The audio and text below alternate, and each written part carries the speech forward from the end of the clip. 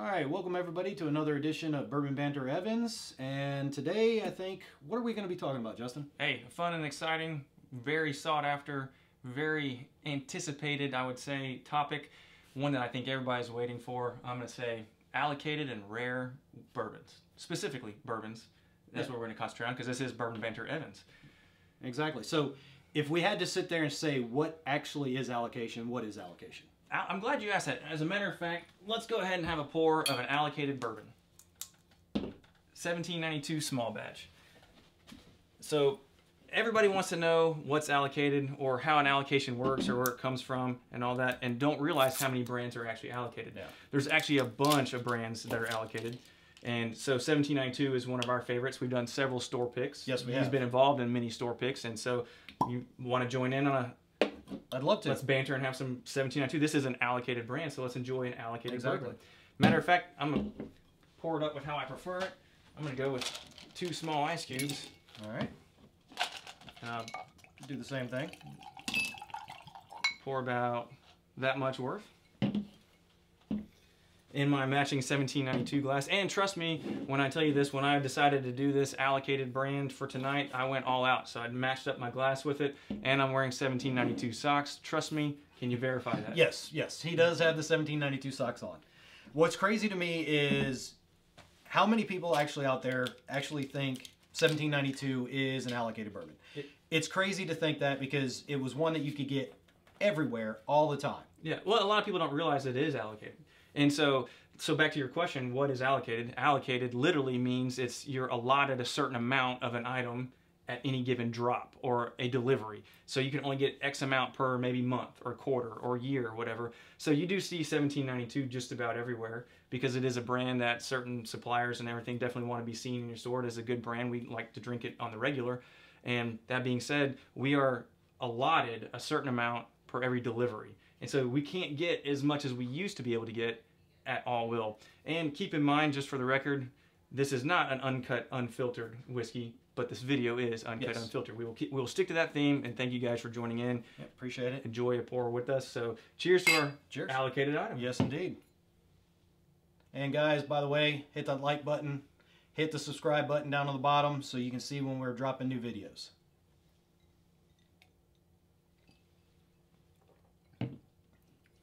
It's just a really good It's go-to. It's a go-to bourbon for me. It's one that I always try to keep, at, you know, here in a decanter or here in a bottle for that matter. Uh, just brought this one. It's a fresh crack of an allocated bottle. Don't forget, this is allocated and rare. Right. Right. See, this is not a rare bourbon, but mention that I just said fresh crack. I think it tastes completely fine. It does. And I said in a pr- prior video that I would debunk eventually that stupid, what I call stupid neck pour idea of what something is in a neck pour in a, in a bourbon, which is you know easily avoided. And I did this off camera before we started doing anything to completely not have to worry about that. Yep. Uh, All I did was this. So am I drinking the butt pour? Is, No. the, is the butt pour thing? You're drinking everything. I'm drinking everything. So therefore, it's a fresh crack, and I like that term. I don't like neck pour. Not that I'm saying I'm right or wrong or anybody else. If you like neck pour, neck pour all day.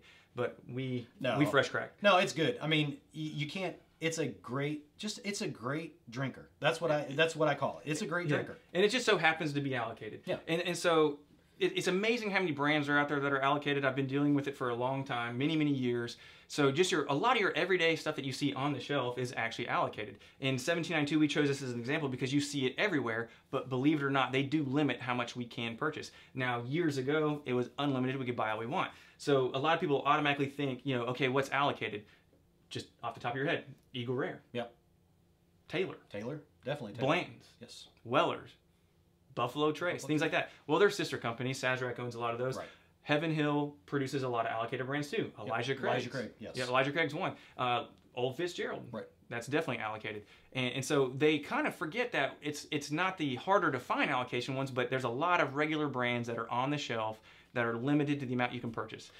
And as things are changing with uh, the times, the way the times are with um, virus stuff from a year ago, there's a lot of allocated items before because you can't put the liquid in the glass, so therefore there's a shortage, Right. and you have to allocate it based off of what it is.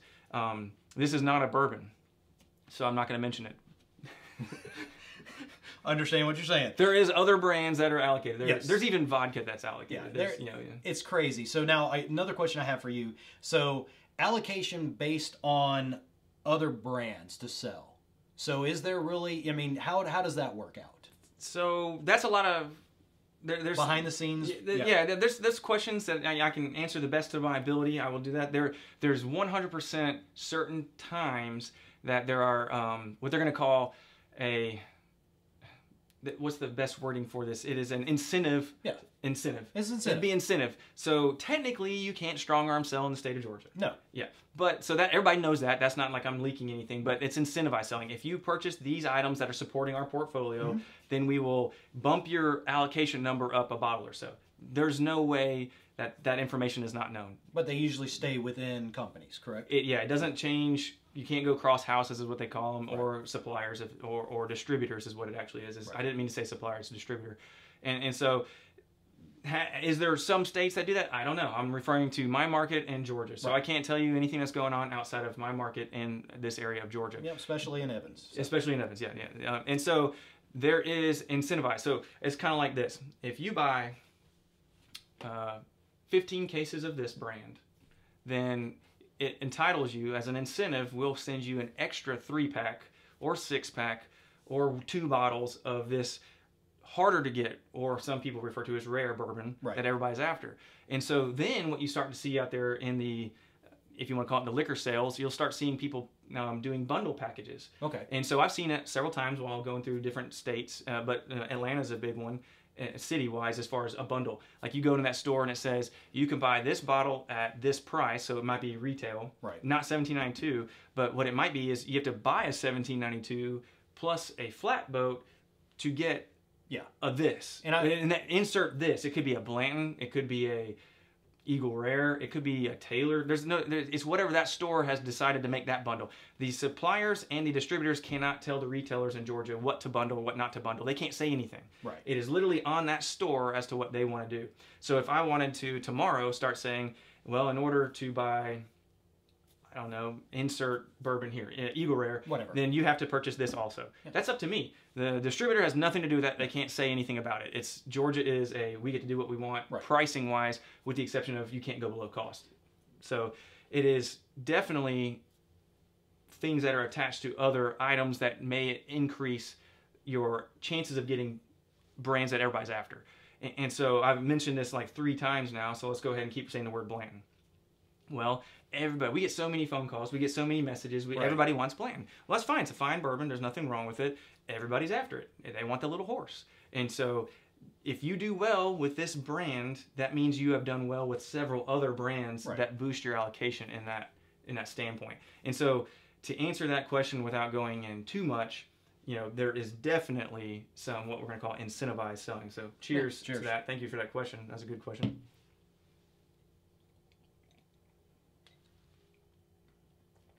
It's just really Right. well balanced. It's so earthy, Yeah, but in the in the standpoint of it it will stand up in a cocktail. You can do anything with it. Tell you what, it opens up a lot. You It add does. Some, add some ice. See, I do. I, don't know if you guys noticed that we did two small ice cubes. Uh, I used to do uh, a standard, pretty decent pour, and then one half moon shape from the Samsung fridges. Yeah. That, that, that they're terrible fridges. The ice cubes are not good, but that was the amount of ice that I would prefer it with. But this is how I standardly drink small batch from 1792, and I've always been a, small batch fan. Matter of fact, a little fun fact actually, 1792 Ridgemont Reserve, eight year, Eight year. was the very first half gallon of bourbon I ever consumed. Man, And so Very nice. That's a little interesting fun fact about you know that Yeah. brand.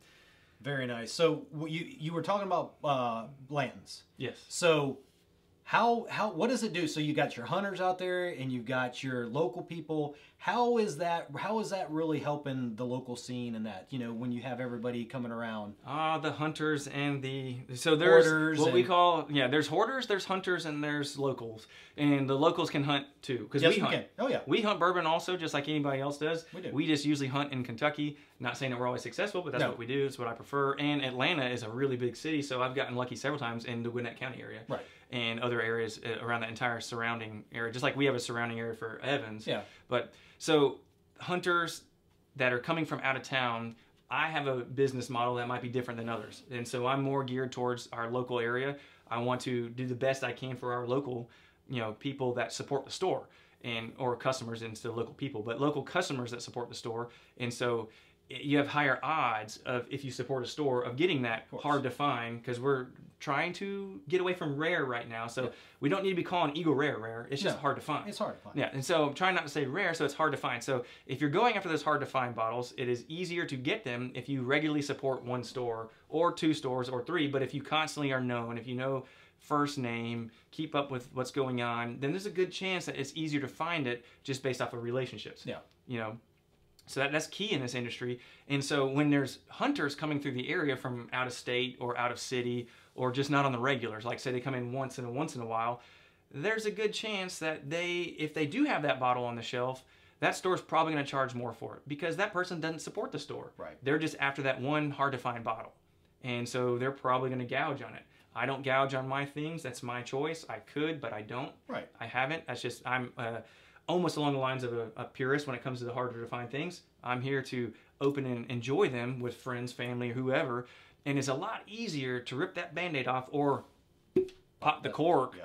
if I only spent sixty-nine dollars instead of seven hundred and twenty-five dollars. Well, and I like it also because not only that, but you can you can share it with friends and everything. I mean, if you take something and instead of paying, you know, anywhere between 20 to 30, 40% more than or even three or four times as much as a bottle should be worth, you're not really going to want to you're going to want to kind of hoard that yeah. and keep it to yourself and not share it with anybody else. So I'm glad which you- I which is what I like to do. If I got a bottle, if I have a bottle, I want to open it up and share it with friends and family. I'm way too curious. I have to know what it tastes like. Yeah. And, and so that I'm glad you said the hoarder part and make that so it's not necessarily hoarding's a bad thing. No. But if you've spent and invested a lot of your hard-earned money and you work hard for it, you spend it the way you want to. If you've spent a whole bunch of it, it's going to make you second guess it sometimes of opening it. And so sometimes it's hard to open that bottle if you've invested a good bit of money in it, knowing what the retail actually is. Yeah. And so it's not a hoarding in a bad sense. It's No. a hoarding in a I've got these nice bottles. They look pretty. They Yes. look good. I'm afraid to open them. Well, and if I, I, I mean, I'll hoard a bottle. It's because it's more for me. It's a rare one, hard for me to find. But I will hoard it to. I'm waiting for a time. What I think is a good time to open it. You know, like a birthday or something like a that. memorable moment. Yes. And so that's one of the things that you know. If if you were to look at my collection, there are empty bottles hanging upside down in, in, in the wine rack in the kitchen. Because my thing is, they have memories behind them. Right. So my those are rare bottles. Yeah. And those rare bottles have been opened and they're all empty. And I probably drank maybe a quarter out of most of them. I shared most of them because it was the experience, but I have the memory of each one. Right. And so were every single one of them allocated? Yes, they were extremely allocated. So then there's like different levels of allocation. And and so I could see this being a higher allocation, meaning, eh, you know, it's available. They're still producing enough we can get it. Buffalo Trace is available. They're still producing enough we can get it. But then there's the whoa allocated. Like, okay, so now we're only getting maybe a case or a couple bottles a month. Like a, yeah. That's harder to get. Right. Then you got the oh super allocated. Like you get maybe one case a year. Okay. All right. Then you've got extremely allocated. And we're talking about bottles a year, B tax, that type of stuff. things right? like that. Now this is our market. Keep in mind, you go to a bigger city, There's all more. bets are off. Right. We're not talking about Chicago, Atlanta. That's that's different. We're, We're- literally talking about our market. Right here in and, and so I could break it down and, and you know do generalities because I do know the information, cases, and things like that that are distributed amongst the 1,200 stores in the area. But we're not going to talk about that. Right. It has nothing to do with that. I'm not going to. No. I'm not going to you know kick myself when I don't need to be kicked. Right exactly. Yeah, and, and so that's kind of the you know allocation breakdown, hoarding breakdown, and a little bit of hunting. So, I, am I for hunting? Yes, Oh, I love to hunt. I love to hunt. And I just I don't get as much time as other people like to hunt because there are people that hunt constantly. Yeah, it's it's fun to go out. It's what I really like is going to some of the other stores, just seeing what they have, seeing the layout, the stores, and everything. Even if you don't find something, and then usually, if, even if I'm there, I try to I try to purchase, Purchase something something. because guess what? I'm a big believer in if you go into a store, purchase something no matter what. I don't care if it's a beer or something like that. That's just me. Yeah. I personally, that's just me. There's a lot of people that do that, which we appreciate because there. I'm not saying that our store is unknown, but there is some people that do know about our store that come in from out of town, and they do come in, and then we ask them, you know, what you're looking for, and then they start rattling off the Sazerac brands, and then of course we don't have them, or we do have them, and then they're excited. But a lot of them, what we found in, in the hunting in this last year, we've gotten more people to come in the store than we've ever had since 2012, and turn right back around with nothing. Yeah. And there's nothing wrong with that. I'm not telling you you have to shop every time, No. but it's very cool if you do go ahead and buy something. You don't have to, because I'm not saying you just need to go waste money in buying alcohol that you may or may not consume. but that you can tell the the ones that are hunting based off of what was told to them on social media, they, Yeah. versus you know they truly used to drink it and looking to consume it and things like that. Like they may have never had it, but we've had Eagle Rare several times, Right. And I have to go hunt for Eagle Rare. Yes. Yeah. Yeah. And, and so, you know, it, there was somebody that posted earlier on a, on a, on a forum, it wasn't really a forum as a site, and talking about a specific, you know, half gallon size that the roommate drank and they're trying to, you know, replace it. Good luck. That's going to be hard. Yeah. Because that is not going to be an easy one to, easy one to find. And I, yeah, I want one too. Yeah. It's like, yeah. Well, the thing, what I think is crazy is uh, what I like is I usually, if I go in another store, beers are what I go to because it's it's awesome to, especially if you're out of you know in North Carolina, South Carolina, to see the local breweries and everything oh. that they have there. Get the IPAs. That's why even North if I Carolina IPAs. yeah, if I just stop in one, go there. And so you mentioned social media sites. Okay. So I'm curious, do you have are, are, so do you think a lot of the hunters now are using the social media sites to know, you know, there people are posting, "Hey, found this here or found this over here." Oh man, like let me tell you, that is a great great example and question as to what's going on. So now you have these sites. It used to be more challenging. It's like you had to actually do the work, drive around, and then go ask for this product, or hopefully you find it on the shelf at a price that you're willing to pay, whatever that price is. But now there's all these bourbon sites. Right. And so there's groups, they're private or they're not, or they're public, which is the opposite of private. So that was just, you know, uncut, unfiltered. Unfiltered. Yeah. And so obviously you're in these groups and then somebody will take a photo, which we'll get to the rest of the photo taking in a second. Yes, indeed. Yeah. So they'll take a photo and they'll go, let me snap out my flip phone here and take a picture. Bang. Bingo bongo. Found it.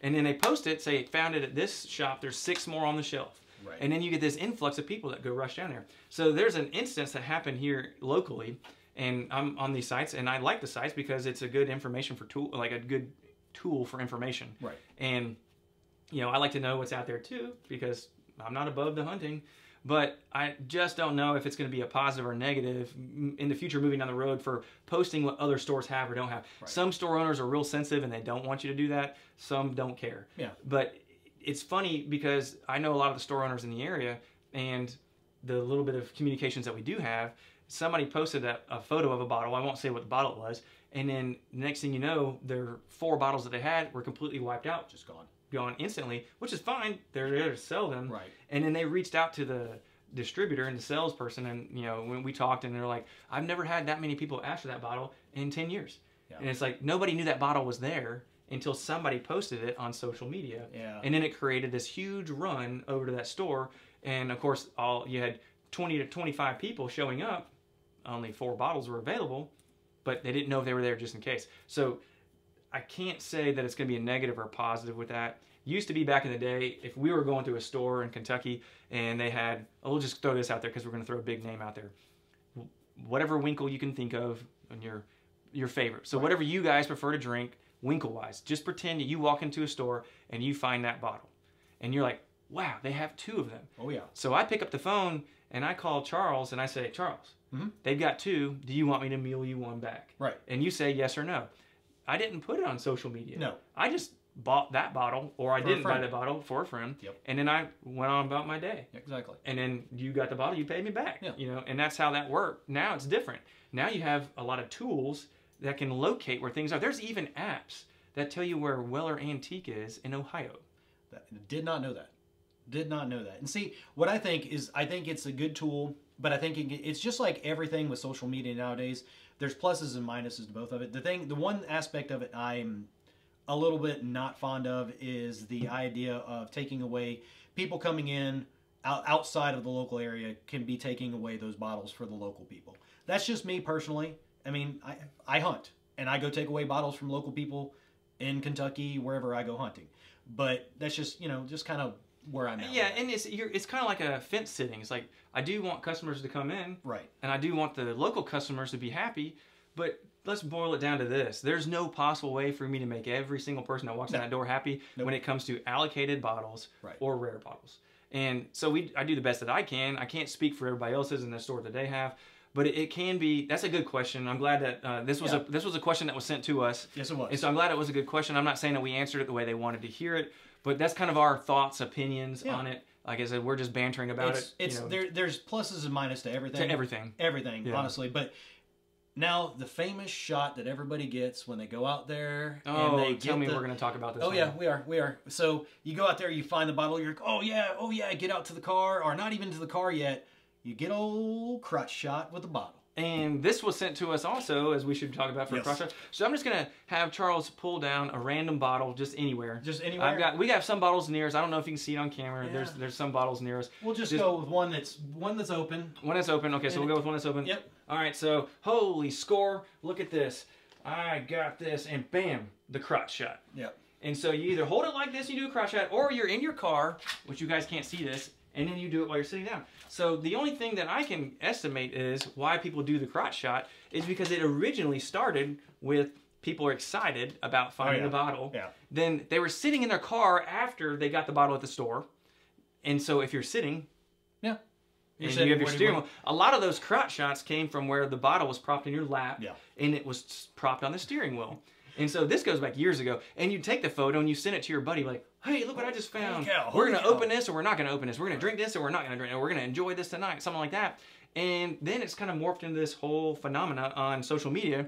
And the crotch shot is a legitimate thing. So It is. if you find the most awesome bottle, You have to do it. have to take a crotch shot and post it. Like, look what I found. But you have to send it to all your friends first before you post it, just just to get the reaction. just to get the reaction. and then, of course, you'll probably get a lot of uh, feedback in a negative way. Uh, And- possibly, And, then yeah. it's also what's funny recently is somebody did a crotch shot, I guess, and depending on how their hand was or something, there was a really nice watch. ah, Ah, so now people were doing the crotch shot specifically trying to with get- a really nice watch in there. So it's like, okay, that guy's got a really nice Uh, watch. let me get Who my- cares about the bourbon? He's got a twenty thousand dollar watch. let me get my iPhone three in there. No, Yeah, or yeah. my Apple Watch. 3. Apple Watch. There we yeah. go. So Uncut, unfiltered. So yes, that, yeah, yeah, uncut, unfiltered. So that that's that's um, somebody asked that question too about you know this that pertains to the allocated bottles. does. And do I agree that every time that somebody finds uh, a lot of the Sazerac brands or uh, you know Elijah Craig Barrel Proof, those are released like three times a year in our market. There's the A, B, C, Mm-hmm. Yep. which I think everybody knows about that. You got the A release, the B release, and the C release. Each one's a different proof Right. from a different batch that they release, and so Heaven Hill releases those three times a year. So they're not necessarily rare, but they are very allocated, and they are not the easiest to find in all markets. And to go on with allocations, if you you know let me, Yeah, sure. Go ahead. So different markets exist throughout the country. Yes. Some suppliers only supply 15, 20 states. Well, Okay. we all know there's 50 states, and then there's also the fact that some of them aren't on the mainland. You know, you've got Yeah. Alaska and Hawaii, Hawaii. way out there. Right. So they might not get any of those. So this could segue into allocations and then rare bottles via the secondary market. Right. But that can be a different topic at a different time. Yeah, I think But it, it does pertain to allocated bottles. But those bourbon states, if you want to call it that, so you have other states that don't get anything, and then some states get a lot more allocation. So let's just make up numbers. Let's just pretend for a moment that we get 21 cases of this. I did 21 because that's my number. There you go. And so 21 cases of this throughout the entire year. Well, you know, let's pick a random state. Montana might not even get this. No. I don't know if they do or not. They might not, but they might only get one case because it's not a bourbon market. Right. What we do know is that allocations are moving out west. Really? And so you're now getting bourbon markets that are now creating themselves a little area, and some in Washington and some in California. So that's really cool. If you like the fact that you can get it out there, it's not cool if you're Georgia, which is a major consumption of bourbon since bourbon existed, right. and they had to do this three-tier system with distribution. Now we're not getting as much because they're wanting to get an influence out there Yep. in California. Just to grow it. just to grow, yeah. So, one last question. Going to be one that you're going to probably have to dance around a little bit Oh. on allocation. So, I mean, let me gonna- take a sip for that one. Cheers, everybody out there. Hope you're joining in, and or hope you're watching and, and enjoying a pour wall watching. Yeah, definitely, guys. And again, hit the like button, subscribe. That way, you know when we're uh, actually going to have drop more videos. Hopefully, you guys like this one so far. We're trying to keep these uh, to a certain time frame, and then this is, like I said, part one of Yeah. allocations of rare bottles. This could go many parts. Yeah, and we're gonna we're gonna have a part two coming out, and then there's no telling how many more parts. All depends on the questions. Honestly, people, please put put your questions out there in the comments. We will try to get to as many of them as we possibly can.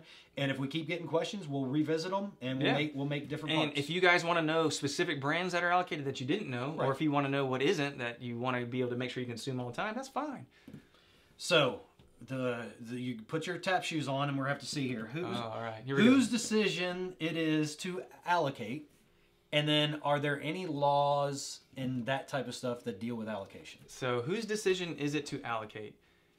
So, depending on what year you ask me that, my question or my answer would change. So, at one point, I could say it's definitely on the supplier, but the supplier supplies the distributor. The distributor then supplies the liquor store. Right. So, technically, if you were to follow the system, it is on the distributor as to who gets what allocation. Okay. The supplier can have influence based off of supporting of their brands. If you're supporting their portfolio, then they're on the list. And then let's just say you have six bottles and you have 50 stores. Then they have to figure out who has the highest support for where those bottles go. Is there some rules being broken? All I can say is that this bourbon is good. Yep. it's always a good bourbon. It is a good bourbon. I, I really enjoy this bourbon. yeah, it is. And you can't go wrong with it. And, and so, if anybody had a question of what this bourbon tastes like, it is allocated, but it is available most of the time. Yes. Look for 1792. It's one of our go tos. yeah. And if you really want to know the answers to those questions, as far as any laws or whatever, I encourage you guys to Google it, Yes. look it up, go on Department of Revenue and thing, you know, figure that out. That's not for me to really answer fully to the extent of my knowledge. Do I know the answer to that question? All I know is that this bourbon is good. Yeah, and that, again, that was one of the questions that we had, and we're going to try to answer these questions to the best of our ability. Especially with him, I'm not in the I'm not in the industry. He is. So That's not true. You're in the well, industry. I am in the industry. You're behind the scenes. Yes, the I'm behind it. Yeah, but I don't have to deal directly with him like you do. Right. So, And, and so again, I'm not going to kick myself, and I don't No. need to be kicked. Is there some rules being bent or broken? That is up to you guys to determine if you guys decide to look it up or Google it or figure it out. Yeah. And if you guys want to have a separate conversation in the store, stop by. We can talk about it. We can figure out what I have to jump through hoops if there are hoops to be jumped through.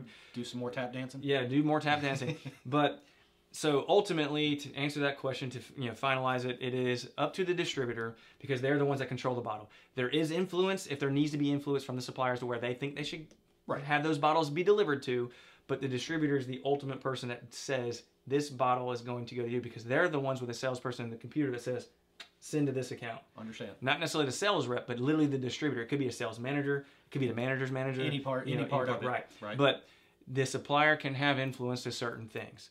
This does happen. It does occur. Is it supposed to occur? That's up for you guys to determine when you look up those rules and then in your interpretation of those rules. Right. And so I hope that answered that question as far as that was a good question. It's a tough question. It's a tough question. Yeah, yeah. It's a good question. I think it's one that's on a lot of people's minds, and it's one that I've had to go look up myself to Right. get my understanding of it too. Yep. I have my opinions, but again, I'm going to keep. He's answered it eloquently. I'm going to keep my opinions to myself, and we're going to. I well, have another. let me let me pause that real Yep, quick. There. One, one, real, to answer that a little bit more, the way I probably could have taken that question is is why is it fair that this account gets more allocation than you get? So I went a little bit more technical. You did. So now I'm going to back off and go.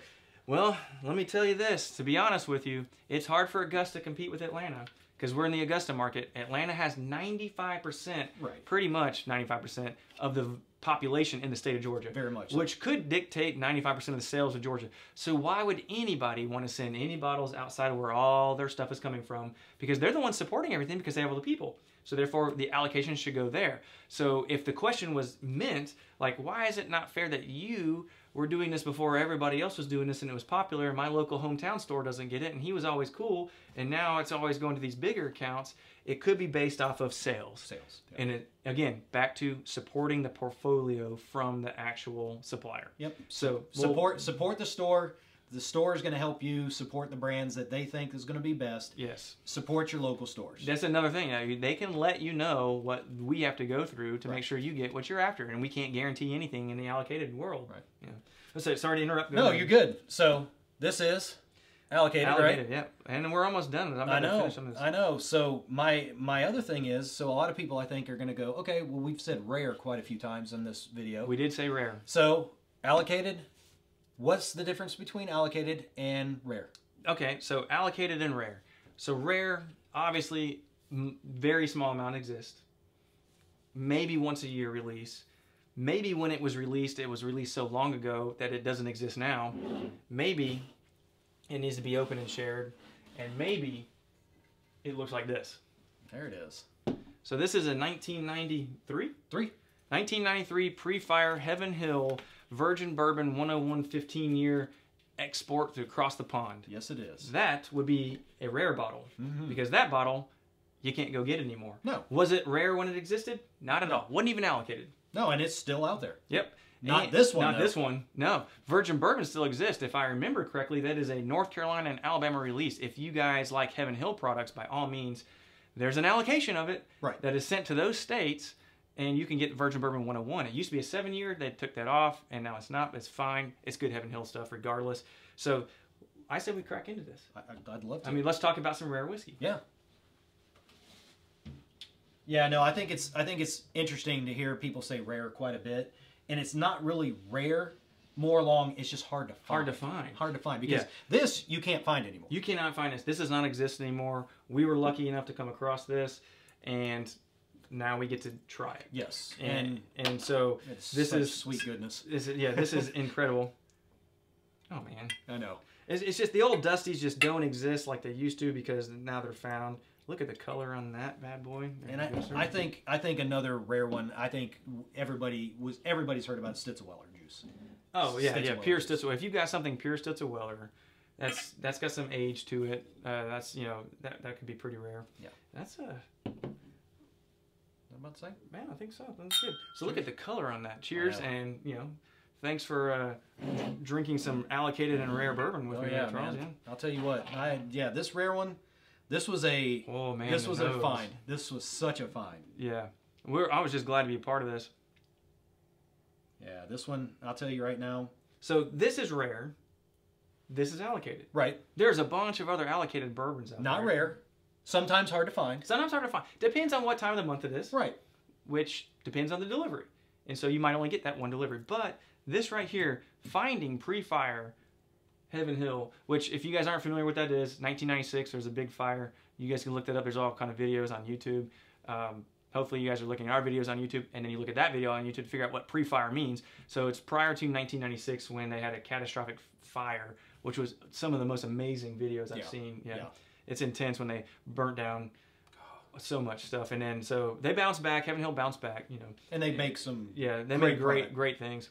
I'll tell you what. Right there. I love this. I, I love the oak flavor on this. The nose on that. The nose is the nose is phenomenal. So what's really cool about this one is it's 101 proof, Yes. where a lot of the pre-fire stuff is 86. 86. Yeah. Yes. And, and so just randomly, I'll pick to my right and find another one of Heaven Hill pre-fire pre-fire juice. This is also imported across the pond across the pond, and under a different name called Kentucky Deluxe. and still an amazing product. Yeah, it's, is. it's it is- great. It is phenomenal how the pre-fires are.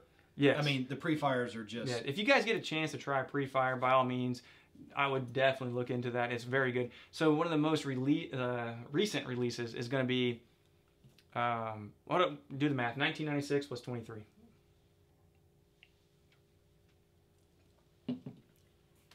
Is that 2019? Yeah. So 2019's Elijah Craig 23 year single barrel. That's Okay. that's the last one that they did. Yep. And that's a pre-fire because of 96. So Right. yeah, yeah, you know, you we could get technical and be like, depends on the distilling season, you know, what time of the year it was distilled versus when the fire was going on and that. Yeah, but it's let's not do that. Let's just give it credit where credit's due. More than likely, that's what it is. And you know what? I like I like seeing this. So I guess one last question I have for you on the rare side. Sure. I think one uh, that could possibly Well, show for part up- one, Yeah, for part one. Yeah. But that could possibly show up is, would you consider any of the Van Winkles rare? hundred percent. There's no way you cannot consider the Van Winkle line rare. And the only reason I say that is is because pure Stitzel Weller Van Winkle still exist. Right. That's super rare. That's super rare. and so if you've got that, that means you've been holding onto a bottle for a long time. Just a little bit. And I think if the math is right, 1992 plus 23. Is that nine, is that 2014, 2015? I, I don't know. Yeah. We're drinking my- bourbon. We're not I, doing I have math. to get my I have to get my phone and uh, Yeah. figure that one out. I should be able to do simple math since I do this on, a regular Well, basis. yeah. But yeah. Anyhow, that's it's going to peg around there. So uh, that's going to be the last of the pure Stitzel Weller for the 23. Right. And it, it backs off away from there. So like 2003, I think is going to be it for the 10 year. Okay. You know, and then you know, so you just keep doing the math from there. So yes, those I would consider, you know, really rare. Squat bottles are what Oh, a lot yeah. of the Van Winkles came in. Those are rare because they don't exist anymore. And a lot of people that bought them back then, the boom wasn't necessarily going on, so they were consuming them. So the more product is consumed, the rarer it gets if you have one hanging around.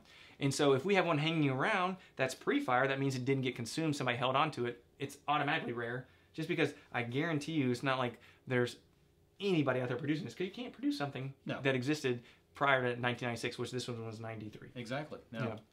No. And so, if you guys want to see some cool markings on there, I'll just rotate the bottle around, and then in the background, not the background, on the back panel is where it has the actual yeah. uh, foreign letters. Well, I'm thinking. I, I'm It thinking it's yeah. probably from Japan. It looks like It could be. Yeah. There's a lot. Japan was a huge bourbon market for a lot of stuff to be sent to, and a lot of brands were sent to them.